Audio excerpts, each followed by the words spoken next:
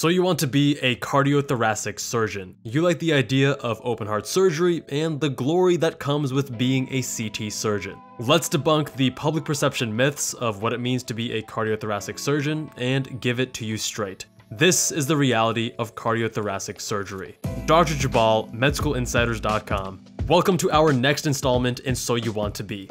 In this series, we highlight a specific specialty within medicine, such as cardiothoracic surgery, and help you decide if it's a good fit for you. You can find the other specialties on our So You Want to Be playlist. You guys voted for it, so here it is. Make sure you're subscribed if you want to vote for future episodes. Cardiothoracic surgery refers to surgery within the thorax, or the chest cavity.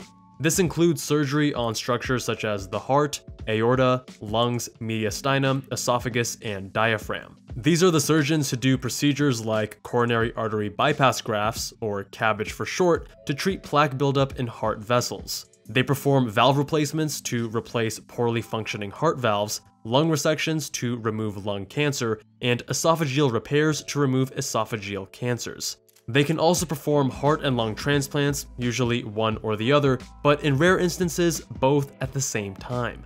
This specialty is not for the faint of heart. Most CT surgeons are workaholics, as CT surgery is a specialty with a more challenging lifestyle than most. Operations such as CABG or lung resections last from 4 to 8 hours, and when things go wrong, complications can result in a procedure lasting up to 12 hours. That being said, many CT surgeons make time for their family and hobbies. After all, these are very smart doctors, and they understand the importance of a balanced life for sustainability and longevity. CT surgery also has a reputation for a malignant culture, which is a term we use to mean you aren't treated well by your superiors or colleagues. This may have been the norm in the past, but luckily things are changing for the better and many CT surgeons love teaching residents and medical students. There are a few ways to categorize CT surgery. First, we can divide the type of surgery based on anatomy. After finishing CT surgery training, Surgeons can choose to specialize even further as cardiac or thoracic surgeons. Cardiac surgeons focus on the heart and aorta, performing operations such as CABG and valve replacements. Thoracic surgeons mainly operate on the lung, such as lung cancer resections, but also work on the esophagus, diaphragm, mediastinum, ribs, and other structures within the thorax. Alternatively, they can remain generalized and operate in both cardiac and thoracic domains, which is more common at community centers. However, if you work at a larger urban or academic hospital, you'll probably be specializing in cardiac or thoracic. When you think of CT surgery, especially cardiac surgery, you may imagine an open chest, the heart stopped in the surgeon's hand, and a giant machine circulating blood to the patient. And that stereotype is mostly true. The majority of cardiac operations, such as aortic valve replacements and CABG, involve performing a sternotomy whereby a saw is used to cut the breastbone in half to access the heart. The cardiopulmonary bypass machine takes over the function of the heart and lungs while they're stopped, such that the patient's blood is drained into the machine where it's oxygenated and then gets pumped back to the rest of the body. This allows the surgeons to operate as needed on the stopped heart. On the other hand, minimally invasive surgeries include video-assisted thoracoscopic surgeries or robot-assisted like the Da Vinci robot. Most lung cancer resections are performed in this manner. Four to six small incisions are made in the spaces between the ribs to insert ports for the robot arms or camera. Using long instruments and a camera, surgeons are able to maneuver through the thorax to cut, remove, and suture tissue. Certain cardiac surgeries, such as valve replacements, can also be performed with robot assistance. After finishing medical school, there are three pathways to become a CT surgeon. This is very similar to the plastic surgery training pathway that we covered in a previous So You Want to Be episode. The most common and traditional, called the independent pathway, is to complete a general surgery residency lasting 5 to 7 years depending on the program, and then complete an additional 2-year CT surgery residency afterwards. In this situation, the surgeon is board certified in both general surgery and CT surgery and is spending between 7 and 9 years of additional training after medical school. The second option is the integrated pathway, lasting only 5 or 6 years in total. Residents rotate on general and CT surgery, but spend most of their time on CT. This is a smaller and newer format, but it's growing each year. Residents in this pathway are only board certified in CT surgery, not general surgery. The third option is the combined pathway, also known as the fast track pathway. Rather than five years of general surgery residency, and then applying separately to another program for a two-year CT residency, you'll do four years of general surgery and three years of CT surgery at a single program. These graduates are certified in both general and CT surgery. Again, similar to plastic surgery, most medical students want to obtain an integrated pathway position for CT. After all, it's fewer years in training. However, CT surgery integrated programs are new and small in number. Last year, there were only 37 individual positions available, meaning that fewer than 50% of applicants successfully matched. For this reason, most aspiring CT surgeons choose general surgery residency, which is a less competitive path. Don't think it'll be easy, however, as it's still very challenging to match at a top tier big name program. What types of medical students apply to CT surgery? Stereotypically, the gunners. After all, CT surgery is far from easy and it comes with long hours. The bread and butter cases, such as CABG and lung resections, can last a long while. For these reasons, it attracts those who aren't afraid of hard work. Particularly if you end up at an integrated CT residency program, you'll need to be at the top of your class with stellar board scores, research, letters of recommendation, and honors in your clinical rotations. After completing CT surgery training, you can subspecialize even further with a one-year fellowship.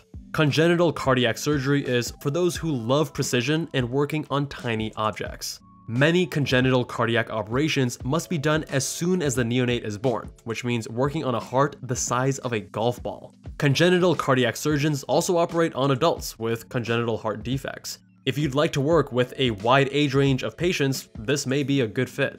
Transplant surgery is for the workaholics who love a rush. Transplants can occur at any moment, depending on when the donor passes, and this often translates to operations in the middle of the night.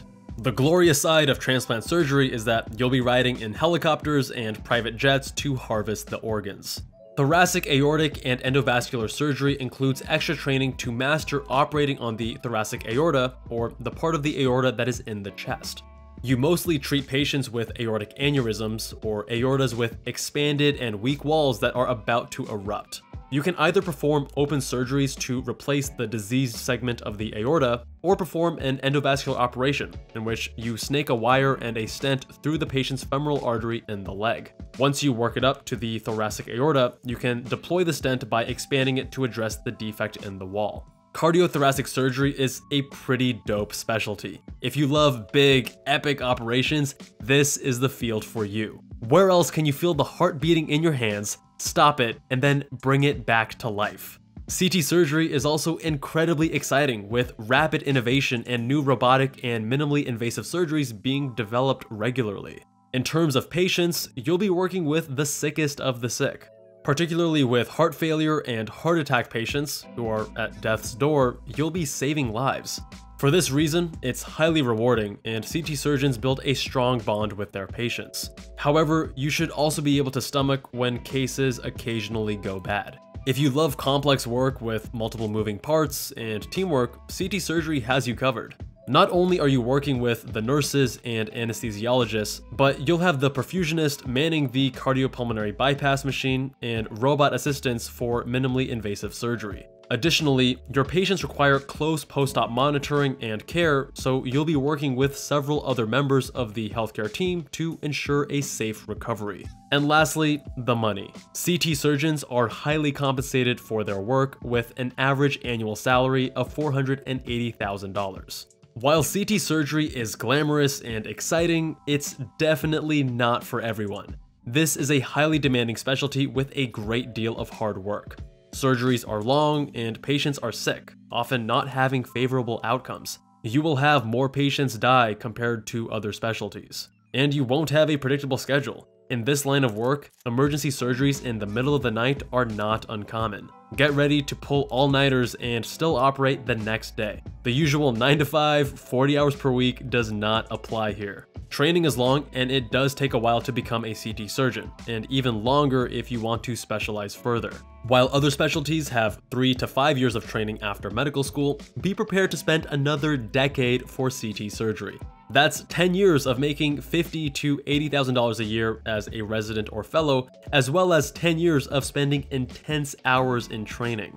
At the end of the day, how can you decide if CT surgery is a good fit for you? If you're an adrenaline junkie who loves big cases, a fast paced lifestyle, but isn't afraid of standing for hours doing longer surgeries in the middle of the night, then CT surgery may be a good fit. If you also crave innovation and want to be on the cutting edge of surgery, CT seems to always have a new, noteworthy technology every year and is one of the leading specialties in robotics utilization. And finally, CT surgery is incredibly competitive, particularly if you want to get into an integrated residency or get into a strong general surgery residency to position you well for a CT fellowship. And who better to learn from and be mentored by than CT surgeons themselves? Big shout out to the CT surgeons at Med School Insiders that helped me in the creation of this video. If you need help acing your MCAT, USMLE, or other exams, our tutors can maximize your test day performance. If you're applying to medical school or cardiothoracic surgery residency, our CT surgeons can share the ins and outs of what it takes and how to navigate the highly competitive process most effectively.